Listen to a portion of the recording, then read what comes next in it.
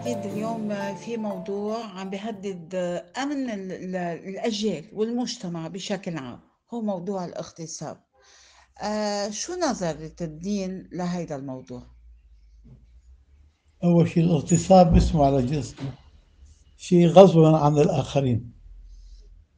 نعم. لما واحد يغتصب برنيطة الثاني سرقة وتعدي. نعم. كيف بالأحرى إذا مس شيء في حياته اللي بتقيم شخصيته أو بتذله؟ نعم. مرفوض مش دينيا حتى إنسانيا. هذه كانت شريعة بنات لوط. نعم. ابن أخوه الإبراهيم أبو الأجيال. نعم. أهل سادوم وعمورة. وصلوا بالكفر والإلحاد اللي هلا هلا البشرية مارسته.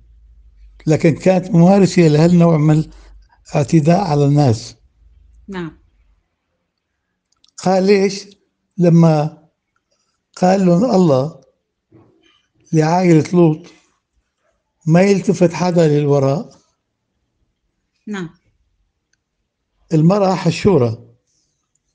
سمعت زلازل صواعق إيه؟ وبرمت وجهها تشوف شو صار.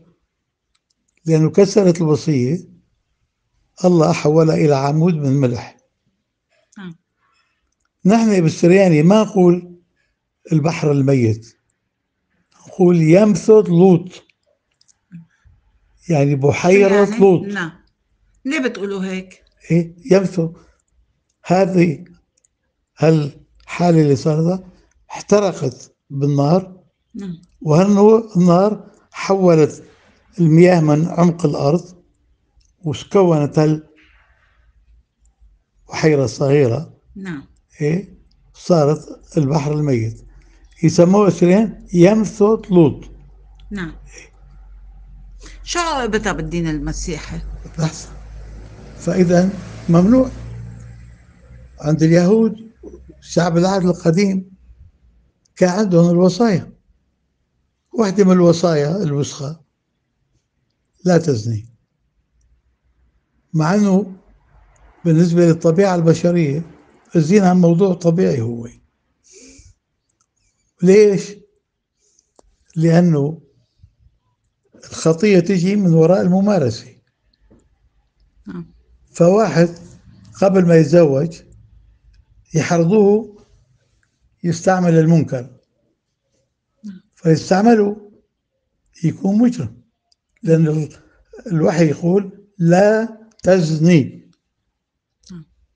وبعدين ما هي متفرعات هذا الزنا؟ سيدنا الزنا هو آه، ماذا تحديدا؟ بين رجل متزوج وامرأة متزوجة يقومان بفعل الخيانة؟ مو بس المتزوجة أو المعزلة فإذا يا ريت أي إنسان يستعمل الآخر بالزنا. يعني المرأة الاغتصاب أصعب من كل هذول. يعني الشريعة إلا الله هي الله لعن بنات لوط.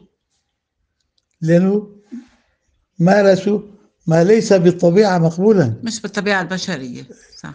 طبيعة ما فيها هيك شيء. نعم. إيه؟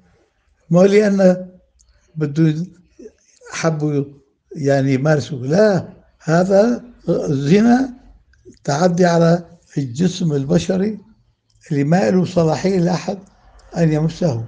نعم. إلا بالحلال. شو الحلال؟ بالزواج. زواج. صحيح. هدول قالوا خافوا على الجنس البشري أن ينتهي لأن ظنوا أنه هذا الحريق اللعنة. إيه؟ بدها تاخذ الأجيال كلها. فقالوا بدنا نخلي أبي أبوهم يعني يكون له نسل. نعم. قال سكروه للوط. شوف الشرير. سكروه للوط. وجوا البنتين كان عنده تنتين تناوبوا عليه وأنجبوا أولاد الزنا. أكيد. لو على غريبة كمان نص المصيبة. واحد رجل مع بنته. نعم هاي من المحرمات. طبعا في مش بس محرمات بالدين محرمات بالطبيعة البشرية. هذول يعني مثال صاروا للعنة. وبعدين في رسالة روميا صح رسالة روميا لبولس الرسول يحكي عن الزنا مار بولس. نعم. ذكور بذكور وإناث بإناث. ولا هالأشياء اللي نسمعها هالأيام هيدي مستعملة كانت قبل يسوع أيام يسوع إلى اليوم. نعم. سلة بسبب المعرفة وبسبب السهولة في الممارسة زادت وانتشرت وبدها تكون سبب لحريق الإنسان حريق البشرية.